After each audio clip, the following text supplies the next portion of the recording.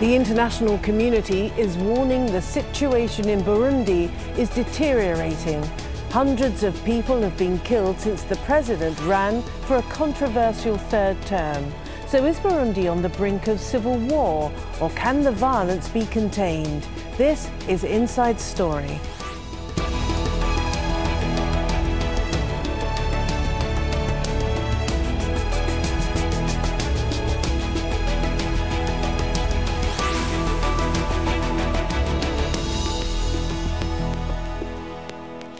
Hello and welcome to the programme. I'm Martine Dennis. On the brink of civil war, that's a warning about the situation in Burundi at the moment. The US Special Envoy for Africa's Great Lakes region says the country is at risk of descending into total chaos. Thomas Perriello is calling for urgent regional mediation to establish some kind of peace process between the government and opposition groups to prevent further bloodshed. Well, the crisis began earlier this year when President Pierre Nkurunziza ran for a controversial third term in office, and he won. That led to months of protests and violence, including an attempted coup. The United Nations says at least 240 people have been killed since April. Hundreds of thousands of people have fled to neighbouring countries. And in the latest violence, gunmen wearing police uniforms fired on a car they believed was carrying a police commander in the capital Bujumbura. He wasn't injured, but the attackers were shot and killed. Well, the killings have led to the formation of vigilante groups. Armed men patrol the streets and have vowed to defend themselves against the security forces. Some of them have been speaking to Al Jazeera on the condition that we don't reveal their identities. Police have been coming to our neighborhood at daytime to arrest and kill us. But at night, we go to where they are and fight them. But the government has dismissed criticism on how it's dealt with the situation and blames the opposition for the violence. The plotters, uh, they failed to make their coup d'etat, but now they found another way. They try to negotiate with the government, but uh, this is not fair. You cannot negotiate with government when we are committing um, homicides like this one. Well, some have said there's an ethnic dimension to the crisis in Burundi, so let's take a closer look at that. The country has two main ethnic groups, the Tutsis and the Hutus. Historically, the Tutsi have been a minority, but they've controlled the elite institutions, including the military while the Hutu, accounting for around 85% of the population, generally held little power, leading to feelings of resentment. In 1993, long standing ethnic divisions between the two groups resulted in civil war. Well, that conflict ended in 2005 after an estimated 300,000 people had been killed in the fighting. All right, let's bring in our guests now. Joining us from the Burundian capital, Bujumbura, we have Padraic MacOireachtaigh. He's a photojournalist and filmmaker who's lived in Burundi for more than two years. In London, we have Jonathon Offei-Ansah, the founder and publisher of Africa Briefing magazine. And in Oxford, we have Patricia Daley, Associate Professor of Human Geography at Oxford University. She's also written a book on Burundi. Uh, welcome to you all. Padraic, can I start with you as you're in uh, Bujumbura? What's the feeling on the streets? These ominous warnings are gathering pace, aren't they, suggesting that Burundi is on the brink of very serious deterioration in terms of intercommunal relations? I mean, absolutely. It's a very tense situation here in Burundi. And um, one of the remarkable things about this is that we feel perhaps that we've been at breaking point for, for many months now. And we've seen a certain level of violence prolonged much longer than a lot of people here expected.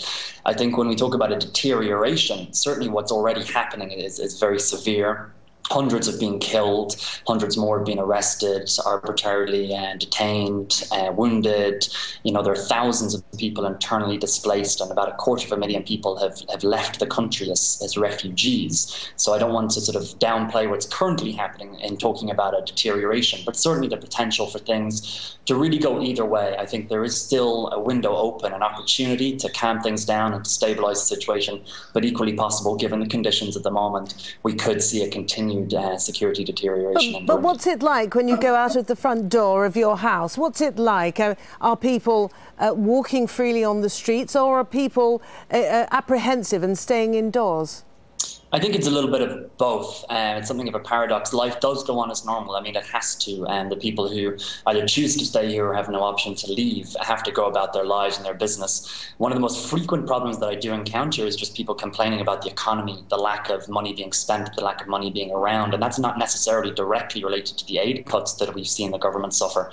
Um, but it's tense. People go home in the evening. It gets much quieter, much sooner, uh, with increasing number of attacks and raids on bars and restaurants. We're seeing people going out less. So certainly there's an atmosphere of fear, but at the same time, life also goes on as usual. And Jonathon Offei-Ansah in London, what we've got in uh, Bujumbura, in Burundi more generally, is a, a, toxic mix, isn't it, of paramilitary forces, of vigilante groups, and of course security forces who are currently being accused of extrajudicial killings. Yes, I mean, the situation um, is deteriorating by the day, you know, from the, reco- from the reports um, we are getting here, whereby um, understand um, some paramilitary police, para, paramilitary forces, you know, go from house to house at night, you know, killing the perceived opponents of um, Nkurunziza. This does not bode well. And there are also some indications that um, these killings could be uh, are being done along ethnic lines. And it does not bode well for the future of the country the security and the political future of the country. And um, the earlier, the earlier the international organizations like the UN, AU, and the economic, uh, sorry, East Africa uh, community step in, you know, the better it will be to uh, avert what um, happened in, uh, in neighboring Rwanda 21 years ago. Yes, indeed. Now, Patricia, how dangerous a moment is this, would you say, for uh, Burundi, given, as John has uh, alluded to, given that uh, fundamental fault line that still exists in, uh, in Burundi, and that, of course, of the ethnicity? I think it is. It has been grave as uh, for some time now. Um, I wouldn't want to put a lot of stress on the ethnic element because um, I'm not on the ground. Um, I, I, I, do understand from some of the reports that some of the people being targeted um, on both sides are from different ethnic groups. Um, but that I cannot clarify. Uh, but there is also, there's always the danger that the situation could, could, can degenerate and the factoring um, along ethnic lines, which took place in the 1990s, um, you know, could develop and that would be very serious. And uh, Padraic, tell us about these opposition forces. Uh, they are uh, there's a variety of groups, from what we understand, with quite divergent views. Some of them want to see the back of Pierre Nkurunziza. Others want what? Well, I think that one of the problems the opposition has suffered, I mean, this even goes back to the 2010 elections when they boycotted almost all of the elections that took place, is the opposition has struggled really to unite uh, behind either a common leader or a really common set of policies. And, and that has continued to this day. There has now been an umbrella kind of opposition organization called CNARED, um, which has been set up, but doesn't represent absolutely everyone. One of the key opponents of uh, President Nkurunziza is Agathon Rwasa, who was chosen actually um, to take up a seat in Parliament is not being part of this CNARED. But we've also, what we've seen over these last few months especially, has been uh, what we might describe as an armed opposition. It's a bit unclear whether to call them uh, vigilantes, as Reuters did, or, or, to call them terrorists, as the government is doing. But they've been uh, using weapons which are relatively freely available following the civil war and a lack of disarmament. And they've been uh, certainly targeting attacks. I would certainly lean on what Jonathon was saying about it being along ethnic lines. I think, as Patricia was saying, that ethnicity is a key factor in anything political that goes on in Burundi. But fundamentally, that is not the key uh, fault line of what we're seeing now. It is a largely political crisis that has the danger of, uh, of becoming more ethnic. Certainly, politicians are manipulating um, the ethnicity element on both sides. But I would say, an enormous amount of resistance um, towards that has been has been found within the population. Generally, people people are not really seeing on the ground that kind of ethnic hatred. And um, uh, John, you referred to, of course, the Rwanda genocide uh, of just over uh, 20 years ago.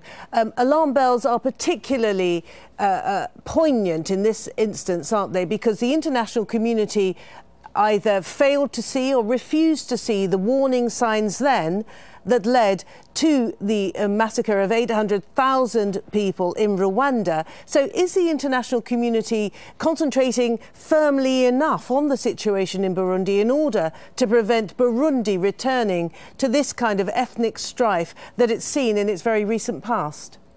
Yes, I believe the international community, especially the the UN, and when I say the UN, I mean the UN Security Council, you know, I have actually debated this issue over the past uh, few weeks.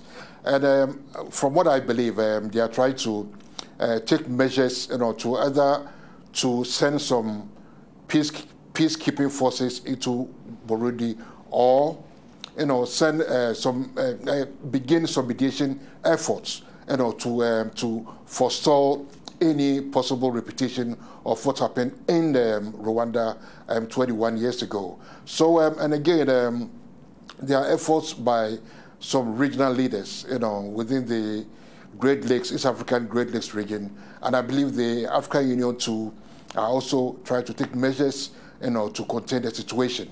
And Patricia, a lot of uh, responsibility has fallen upon the regional mediating group, particularly the East African states, the leader of whom is uh, President Museveni of Uganda. Um, he intervened earlier on in the year. Clearly, he failed, doesn't seem to be terribly interested, is perhaps more interested on his own uh, re election, which is due at the early next year. Should the responsibility for mediating the situation in Burundi lie with the East African states when clearly they've, they've not managed much so far? I think it's important that they play a role in this. Um, if we looked at the 2000 peace agreement, um, peace negotiations that started in 1998 um, and led to the Arusha peace agreement, um, the foundation on which this current um, the government is based, um, you know, it was uh, instigated, uh, you know, at the initiative of regional uh, leaders. then former President Julius Nyerere. Um, it was a, he was well respected and he was able to um, claim considerable authority. And he, his role was then taken over by Nelson Mandela. Uh, and therefore, I think they were able to push for a peace agreement. In this context, the, international, the East African community have to act. They cannot allow the situation to de degenerate so that there's a civil war or genocide within the um, territory. Uh, the economic, first of all, the human rights of the Burundian people needs to be uh, protected.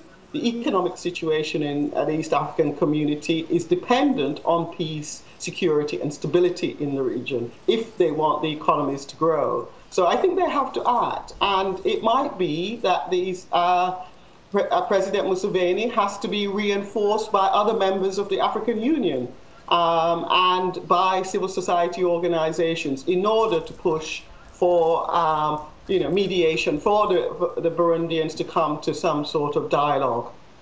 And uh, John, uh, the African Union uh, has emphasised, hasn't it, in, in recent years, as you well know, African solutions to African problems. But this sounds like something urgent needs to be done on Burundi. Is the African Union uh, fit and capable to respond in a short and effective manner, which is, of course, what is required right now for Burundi?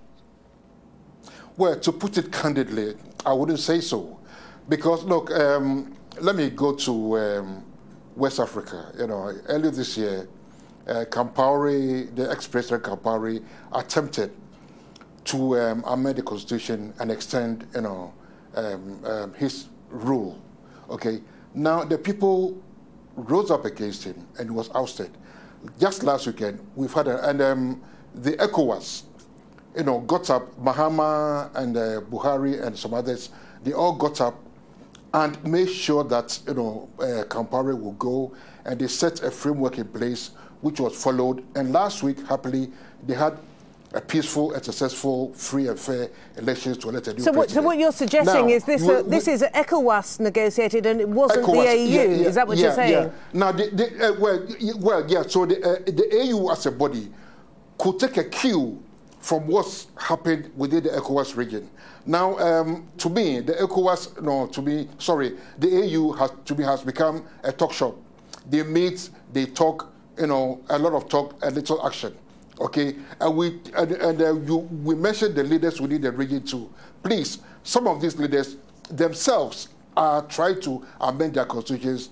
Either they have or they are trying to amend their constitutions, right, to extend their stay in power. One has been in power for over 30 years, right, um, harassing and imprisoning, uh, imprisoning uh, the, uh, uh, his opponents. Okay, so what credibility do they have? All okay, right. okay.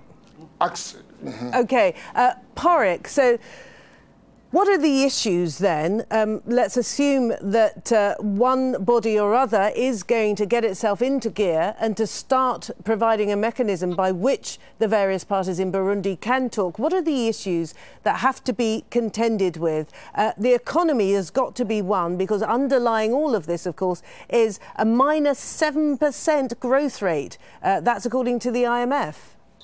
Absolutely, and it's a, it's a huge problem that Burundi's been facing. And a lot of critics of, of the current president have said that while he has uh, brought some economic improvement in his 10 years in power, he seems now, with his decision to go for this third term, to have turned that around. Obviously, the government response is uh, that if it weren't for the insurgency, as they call it, of, of the opposition, this may not have happened. I think the first question that needs to be uh, taken up regarding mediation, however it is that, that, that mediates, is who is going to be at the table. Um, today, CNARED, the opposition platform I, I mentioned earlier, they um, they put out a declaration to say that they recognise President Museveni as the mediator of these of these talks. And um, the government, however, rejects the nature of the talks as a negotiation, but sees them purely as inter-Burundian dialogue. There's been a lot of lack of coordination um, between which bodies might be doing it. An inter-Burundian dialogue commission set up within the country. The opposition, many of their leaders have fled, have said that it must take place outside the country. Hopefully, within this next week or so we should see some talks starting to begin or take shape, probably in Kampala, um, under the, um, Museveni has, has delegated to his defence minister what exactly is going to be on the table, it's unclear. And it seems to be the sticking point again comes back to the respect of the Arusha peace agreement, um, which allows the president only two terms. However, the, the, uh, the, the, ruling party points to a perhaps ambiguity in the current constitution, which has allowed the current president to, to go for his, his third term. And I don't really see how the opposition and the ruling party will come to an agreement on that. Perhaps it might be some sort of compromise that allows the president to remain in power until 2020, but that the um, the ruling party will have to concede some kind of government of national unity and involve a broader spectrum of political actors. And Patricia, so if it's the Arusha Accords that provided for uh, the mechanism for stability and peace, relatively speaking, in Burundi, and that is now being chipped away at, uh, what pressure perhaps can be brought to bear by neighbouring countries? And when I say neighbouring countries, I'm thinking of those who are, one way or another, involved in the situation in Burundi, Rwanda, the DRC, and Tanzania? I think I think they can play a major role. I mean, obviously, Tanzania and the DRC will bear the brunt of the refugee problem. Tanzania um, has over 200,000 Burundian refugees who have crossed the border the, in the last six months or so. They, it, had a histo- it has a historical population of Burundians who they recently gave citizenship in 2007, and the assumption was that these, uh, you know, they wanted to, you know, end the refugee problem in Tanzania, and that's not the case. So I think um, that, you know, Tanzania has a considerable role to play in bringing about peace. Um, they were instrumental in um, ensuring that the pre- president returned to Burundi after the coup. So um, they have a role, in a sense, to um, promote peace and security within the region and to ensure, um, you know, the, the, the, rights and stability of the uh, of, of, of, Burundi. Um, obviously, you know, we, we have we know that President Kagame of, uh, of Rwanda has spoken out a number of times against the atrocities uh, or uh, you know, particularly extrajudicial killings and um, imprisonments of opposition in Burundi. And there is some tension, um, obviously, now between Burundi and Rwanda. And I think that's part of the problem why the, probably the, the, you know, the East African community negotiation has been slow because the East African community itself is not united um, in terms of its mission to, to, to stop the violence in Burundi. And uh, Jonathon, in, in London, um, I suppose we could call this, for want of a better expression, third termism. Third termism seems to be sweeping across the continent, doesn't it? Uh, constitutionally or otherwise. How much of a challenge then does this uh, present for the African Union? Well, it presents a very big challenge, you know, because, um, uh, but I would say that uh, this third termism, as you like to put it, you know, um, from my observation, is getting more prevalent in parts of Africa. It's not wholesale across the whole um, continent, okay? But the AU needs to um, be stronger, right? Just like when um, there's a coup d'etat in any African country, that country is automatically suspended, suspended from the union, okay? It should be extended and more um, stronger measures put in place to prevent African leaders trying to manipulate constitutions, you know, reinterpret them, you know, and extending their mandatory, uh, their mandatory terms. It doesn't, you know, um, uh, do anybody any credence, neither the leaders nor the countries nor the people, uh, the, the, people over whom they rule. It doesn't do anybody any credence at all. So the AU must put in, in place measures and make sure that these measures are strictly, you know, and uh, rigorously enforced. And Padraic, is the legality of the Nkurunziza presidency actually up for discussion, or is it uh, a de facto uh, situation that now has to be put into the mix? He's here for his third term. The constitutionality of it, or otherwise, is, is not up for discussion. I think, unfortunately, uh, it remains very much up for discussion. Um, the Arusha agreement, as I was saying before, is very clear about only two terms. However, it was an agreement, and, and actually, um, Nkurunziza's uh, own party, when it was still a rebel movement, was not uh, involved in those negotiations. It actually broke off from them and signed a later ceasefire agreement. So, when it came into power with the 2005 constitution, that was what they were seemed to be uh, guaranteeing. And there is certainly a loophole in the Constitution. I'm not a constitutional scholar, and there's been a lot of debate around the world from different people who can see both the loophole uh, and and the way that actually it really shouldn't have been respected. There's also a question about whether or not Arusha is a kind of supra-constitutional uh, agreement which could be used in, in that sense. Um, I think many people, however, have shifted their argument away from the legality of the choice to go for a third term and more towards the uh, the ethics of, of such a choice, given what's happened over the last few months. And so, Patricia, it looks as though um, Nkurunziza is here, at least for now. Um, we've already emphasised the urgency of the situation. I understand that the EU is uh, limbering up and uh, perhaps preparing to get involved. Do you see that as being a constructive way forward? I think I think any um, pressure that is put on the Burundi government to you know start a dialogue with the opposition. And also, I think to immediately really um, exert some control over the security forces, if that, uh, you know, um, and as well as um, pressure on the opposition um, to, you know, especially, you know, to, to hold back some of those paramilitary groups. If the EU can exert pressure, then I think that would be um, of enormous benefit um, to uh, a, a, peace process or a sort of settlement process.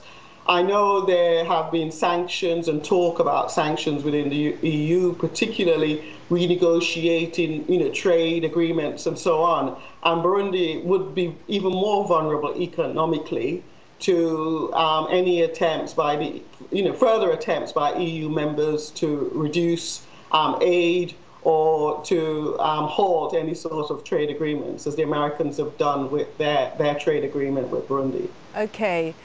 Can I uh, thank you? Can I thank you at that point? We've run out of time. Thank you very much, Patricia Daley, Jonathan Ofe Ansa, and Padraic MacOireachtaigh in Bujumbura. Thank you all very much indeed for a really interesting conversation. Thanks a lot. And as ever, thank you for watching. You can leave your comments on the programme's page of our website, aljazeera.com. You can post your views on facebook.com forward slash AJ Inside Story, or you can tweet us at AJ Inside Story. But from me, Martine Dennis, and the whole team, for now, it's bye.